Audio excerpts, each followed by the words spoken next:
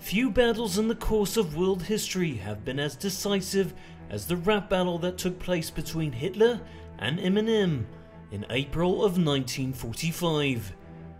With the Soviets on the doorstep of Berlin and the rest of the Allies closing in from the west, Hitler and his entourage knew that the only last alternative to winning the war would be a decisive rap battle victory that would force the Allies to sue for peace. Together in his Fuhrer bunker, Hitler began preparing sick beats with his propaganda minister Joseph Goebbels to ensure a quick rap victory. In order to neutralize the threat of an Axis buzzer beater upset victory, the Allies dispatched Private Eminem of the 8th Mile Infantry Unit, known for his potent freestyle rapping abilities. Eminem arrived in the besieged city of Berlin on April 30th, 1945, where he met Hitler at the ruins of the Olympic Stadium in front of a small crowd. Hitler began the rap battle by shouting out his homies on the Eastern Front, and then hit Eminem with the following lyrics. Every Frau trying to get in my pants, I'll conquer you like I conquered France.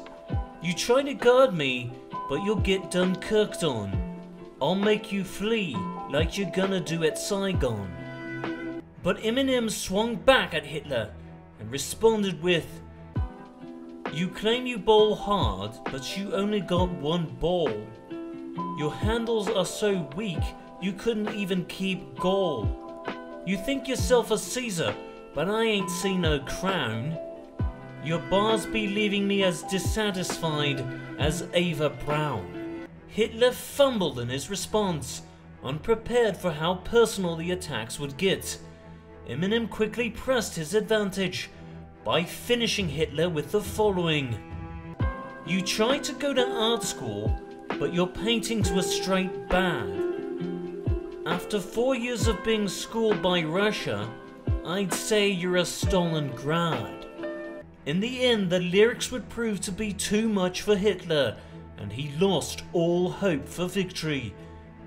Later that day, he would decide to end it all, along with a number of his ghostwriters.